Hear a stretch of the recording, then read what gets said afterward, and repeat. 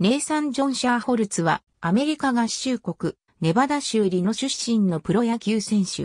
宇藤左だ。現在はフリーエージェント。広島東洋カープ在籍時にはネート・シアーホルツという表記で登録されていた。2003年のメジャーリーグドラフトでサンフランシスコジャイアンツから2巡目指名され、6月25日に契約。当時は三塁手だったが、入団後に右翼手へ転向した。2007年6月11日のトロントブルージェイズ戦でメジャーデビューを果たした。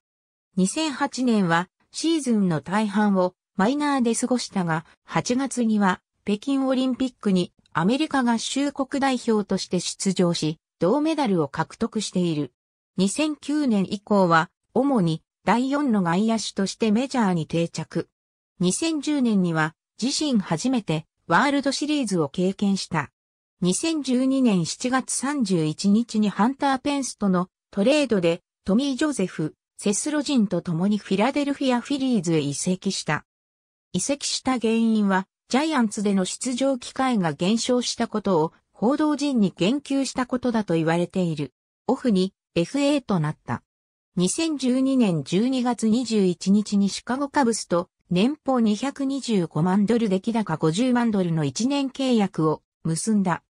2014年は開幕から99試合に出場していたが、打率192.6本塁打、33打点、4盗塁と結果を残せず、8月6日にディーフとなった。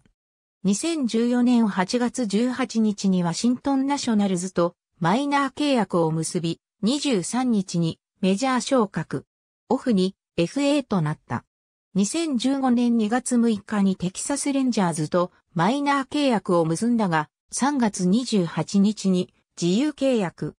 2015年4月3日に広島東洋カープと1年契約で合意したことが球団から発表された。登録名はシアーホルツで背番号は57。推定年俸は116万2000ドルで外国人選手の契約初年度の年俸としては、チーム史上最高額とされた。4月19日の対中日ドラゴンズ戦に、スタメンで NPB 公式戦デビューを果たしたが、同月中の通算打率が080にとどまるほどの不振に陥り、5月1日に出場選手登録を抹消された。5月15日の再登録後は、同月中に打率377、4本塁打、11打点と復調。一時4番打者に起用されるなど、6月以降も好調が続いた。しかし、8月2日に熱中症で、再び登録を抹消されると、腰痛の発症などで、コンディションが整わずに1軍と2軍を往復。結局、8月9月の2ヶ月間で、1軍公式戦での通算打率が、120と低迷した。シーズン通算では、一軍公式戦で打率250、本塁打10、打点30を記録したものの、得点圏打率が218と勝負どころでの弱さを露呈。10月には、球団から翌2016年の契約を結ばないことを通告された。2015年12月24日にデトロイトタイガースとマイナー契約を結び、スプリングトレーニングには招待選手として参加する。2016年5月23日に解雇となる。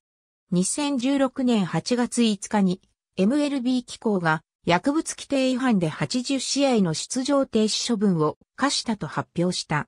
人成長ホルモン分泌促進剤で運動能力向上薬でもあるイブタモレンの陽性反応があったという。早いカウントから積極的に振っていく打撃スタイルで二塁打製のライナーが多いラインドライブヒッター。選球眼が悪く、落ちる変化球や外角へ逃げる変化球に空振りするケースが非常に多い。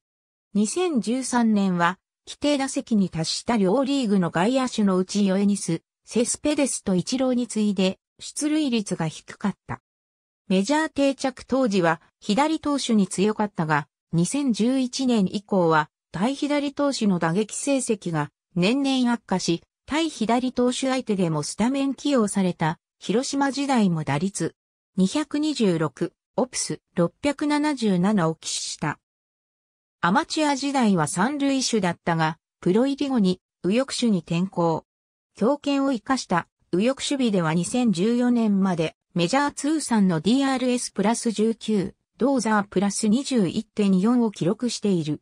打席でバットを素手で握る数少ない現役選手の一人だったが、2011年以降はバッティンググローブを使用している。常にトレーニングに没頭する生真面目な性格。ネートシアーホルツに関するカテゴリー。ありがとうございます。